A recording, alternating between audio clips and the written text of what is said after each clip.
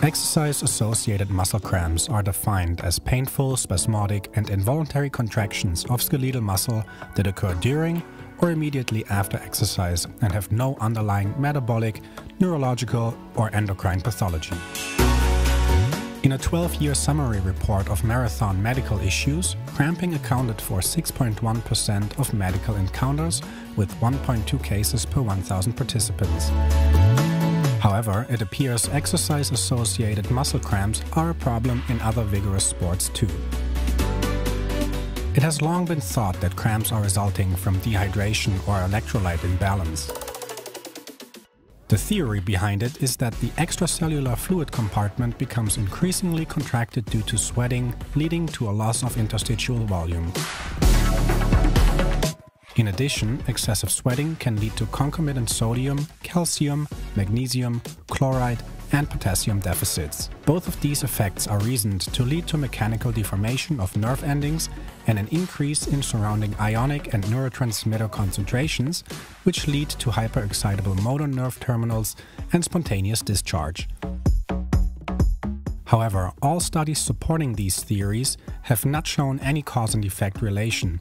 None of the participants in the supporting studies had cramps, despite having either serum or sweat electrolyte losses, and why is it that cramps only occur within working muscles then, and that stretching can relieve cramps immediately?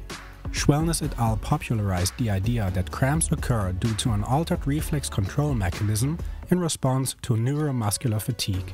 Specifically, muscle overload and fatigue engender an imbalance of the excitatory drive from muscle spindles and the inhibitory drive to the alpha motor neuron, which ultimately produces a localized cramp. This hypothesis has experimental support as skeletal muscle fatigue has been shown to reduce inhibitory input to alpha motor neurons from the Golgi tendon apparatus and to increase excitatory input from the muscle spindles in animal models.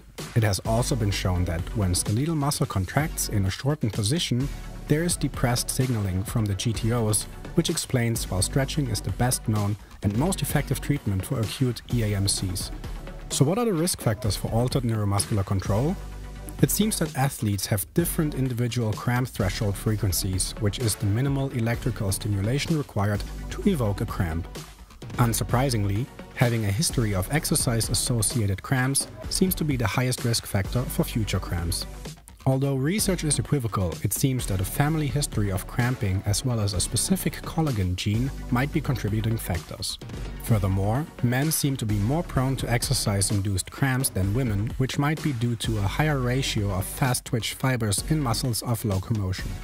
At last, Schwabe et al. have proven that higher exercise intensity and duration lead to a higher risk of cramping, and Shang et al. found that cramp prone athletes were more likely to have a history of tendon or ligament injury when compared to non cramping athletes. So, how can we treat and prevent cramps? Due to the limitations of the electrolyte and hydration theory, salt tablets and magnesium supplementation, although commonly used, lack evidence. The use of quinine has been shown to reduce the incidence of nocturnal and idiopathic cramps, but is no longer allowed in the United States as it can lead to a decreased blood platelet level. Nelson et al. report several promising strategies for exercise associated muscle cramps, although high quality trials yet have to prove their efficiency. These are re education of agonistic muscles like the gluteus maximus in cramp prone hamstrings, kinesiotaping and compression garments, which are proposed to create convolutions in the skin, which engenders an increase in local blood flow and reduced pressure on mechanoreceptors.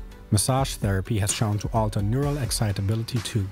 Furthermore, hyperventilation is thought to prevent respiratory acidosis as a contributing factor to muscle cramping.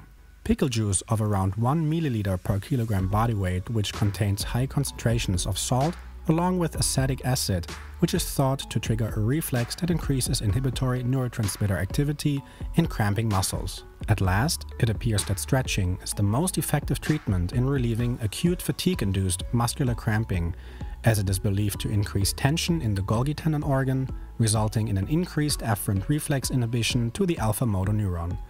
Feel free to experiment with several of those options and let us know what helped you.